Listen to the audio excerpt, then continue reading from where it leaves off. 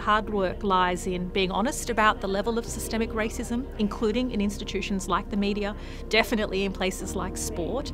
And until we unpack that, challenge that, and make those workplaces truly inclusive, you can have brown people and disabled people and people who are queer and all at all intersections and say we've got the diversity. But unless they're safe, to really do the work that they're hired to do, then there's no inclusion. What I try to implore everybody to do is to start their own reflections at a personal level and realise that anti racism is a journey that we are all constantly on.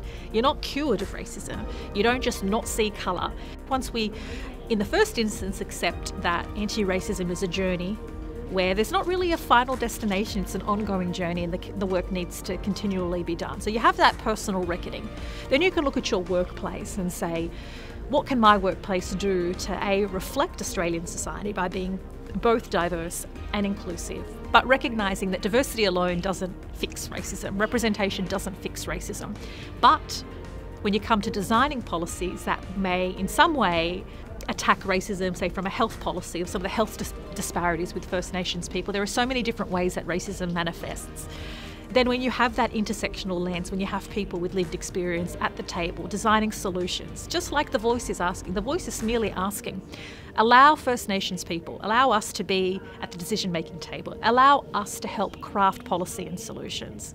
Some of the biggest errors um, I have witnessed in the diversity and inclusion space was from day dot. It's because they weren't diverse and inclusive when they were calling the shots.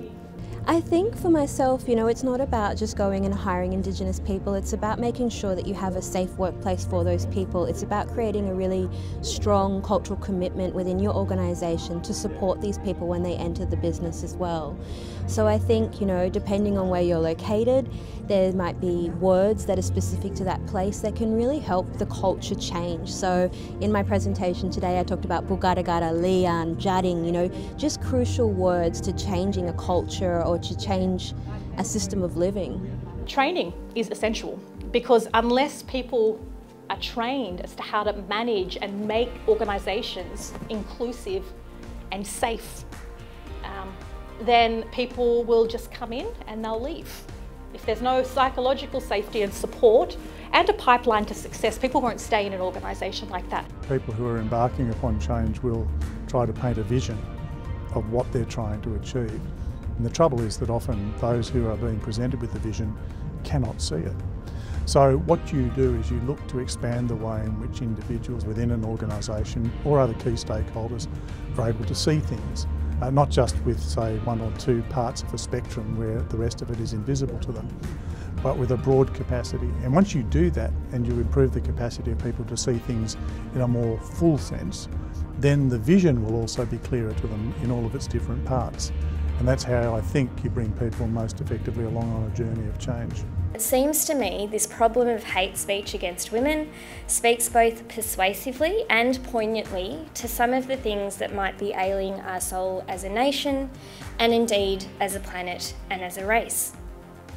Having said this, online hate and anger, like most aspects of systemic discrimination, manifest and are experienced in a range of ways, and it's important to keep this in mind.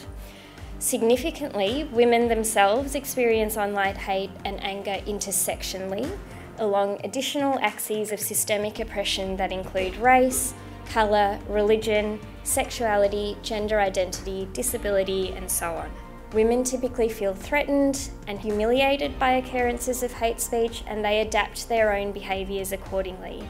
They police their identities, their speech, and their movements, or they leave online and offline spaces and disengage entirely from public life.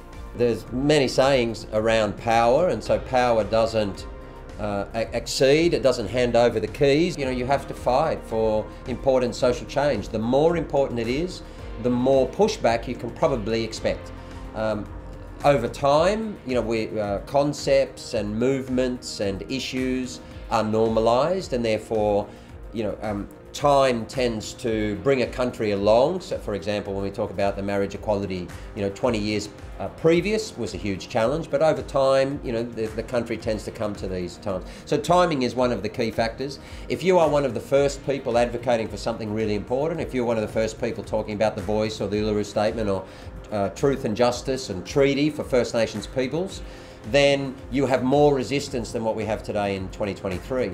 Um, my advice is firstly, of course, you have to expect that that is going to occur. Uh, that uh, I think it tests the depth of your belief in the, the nature of change that you want to see happen and the extent to which you believe the country requires that. I think that gives us fuel for all of us in the community and NGO sector. Uh, and finally, a collectivism is the most important you know, the more people who come on board with an issue, the more intellectual credibility uh, and capability that we are able to acquire. Uh, and of course, a mass of voices in a democracy like Australia still is the ultimate barometer of where the country is going to head.